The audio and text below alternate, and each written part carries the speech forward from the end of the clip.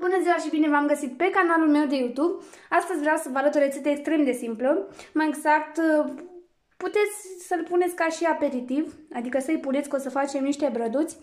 Sunt, din punctul meu de vedere, perfecți pentru masa de sărbătoare. Așadar, aveți nevoie de un aluat, eu am aici și pasta sfolia din aceea de, din Italia, pe care vi-am arătat-o în clipul anterior cu pachet de la mama, dar puteți lua nu știu, aluat de foietaj sau aluat de pizza, cred că merge cu orice fel de aluat. Mai aveți nevoie de cașcaval, am aici cașcaval pe care am luat cașcaval din acela la rolă, dar dacă aveți cașcaval feliat este mult mai ușor de lucrat cu el. Uh, am aici și niște șuncă, de fapt mușchi de porc, la fel l-am tocat, l-am uh, tăiat așa fâșii subțirele. Mai aveți nevoie de ketchup, eu am aici un ketchup de casă, dar puteți face voi un sos uh, pentru pizza uh, cu oregano, busuioc, cimbru și ce vreți, puțin ulei de măsline. Mai avem nevoie de un ou și cam atât. Așadar, vom pune puțin ketchup din acesta într-un uh, recipient.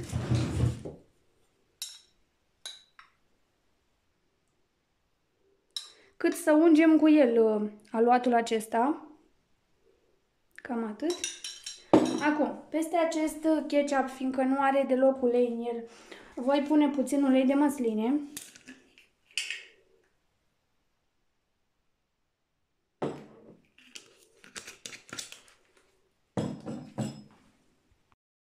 Amestecăm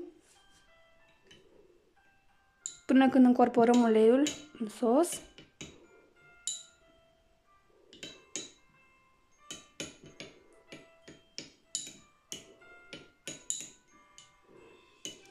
Să știți că eu prin el am pus uh, oregano, cimbru, de aia se vede așa, verde, când l-am pregătit. Acum, aveți nevoie de o pensulă Stați că nu mai știu pe unde am pus-o. Ah, am găsit-o.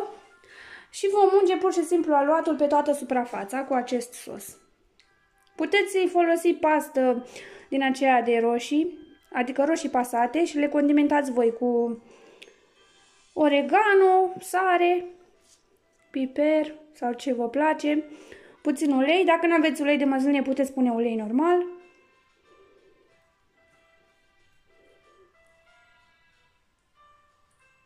Și ungem foarte bine aluatul pe toată suprafața.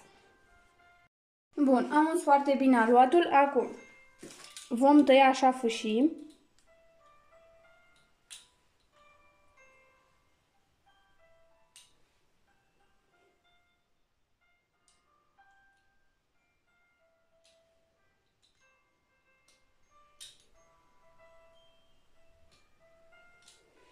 Cam uh, de dimensiunea aceasta.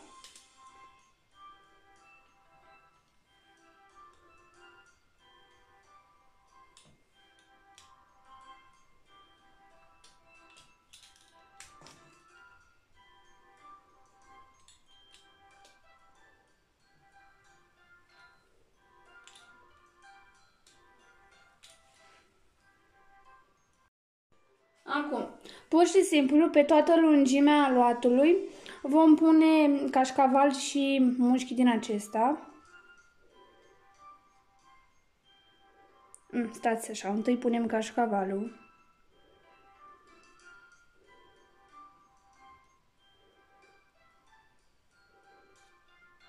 Ok, acum punem mușchiul.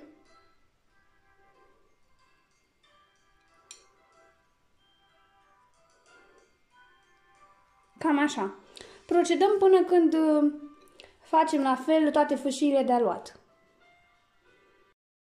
Ok. Uh, umplem doar jumătate din fâșii, jumătate le lăsăm goale, fiindcă o să venim cu câte o fâșie din aceasta peste cea pe care am pus uh, cașcaval și șuncă.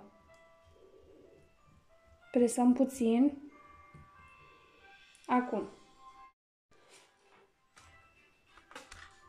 Ok, acum mai aveți nevoie de niște bețe din acestea pentru frigărui. Și aici avem fâșia și o rulăm pur și simplu. O dată așa.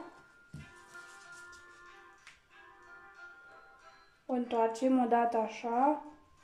Din nou așa. După care așa. Și iar așa. Deci ceva de genul trebuie să faceți. Acum, cu băț din acesta pentru frigărui, înfigem un aluat la jumătate.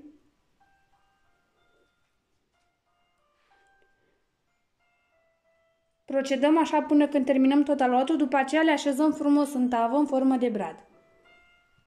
Dragilor, așa arată brăduții. Deci, practic, așa trebuie să formați. Bine, cum am priceput eu că aluatul se cam în moaie, dar nu zic că ești ok. Acum, am bătut aici oul și pur și simplu cu ou vom unge fiecare produs în parte.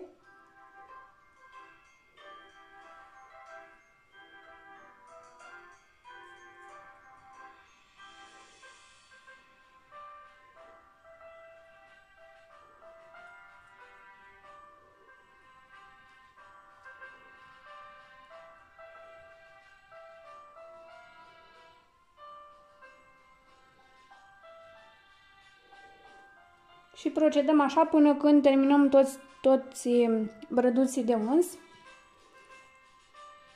Acum vom da această tavă în cuptorul preîncălzit la 180 de grade pentru 15-20 de minute sau până când uh, brăduții sunt uh, perfecți rumeni și până când aluatul se umflă.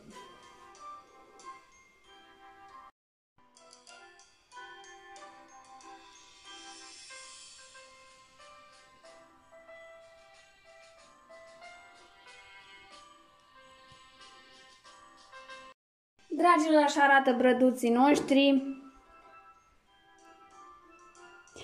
Bine, eu am făcut în cantitate mică, că doar eu. Dar uh, uh, voi, dacă aveți mai mulți, dacă sunteți mai mulți membri în familie, bineînțeles, folosiți în cantitate mai mare. Faceți exact uh, cât, uh, cât aveți nevoie. Uh, eu l-am uh, am decupat și așa o steluță din uh, morcov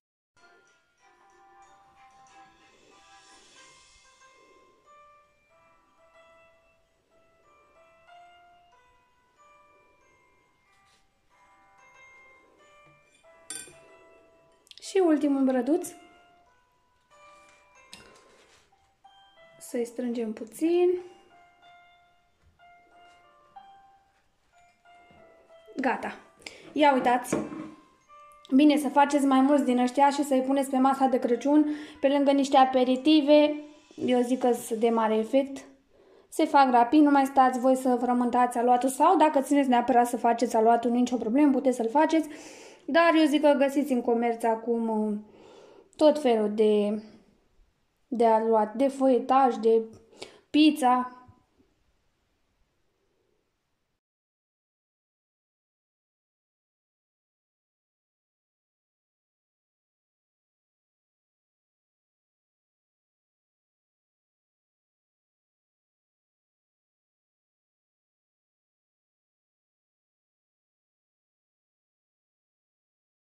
Dacă vă a plăcut rețeta mea, nu uitați să dați un like acestui videoclip, să vă abonați la canal, dacă nu ați făcut-o deja. Pe mine mă găsiți și pe Facebook, rețete diverse by Flori, spor la gătit și poftă bună!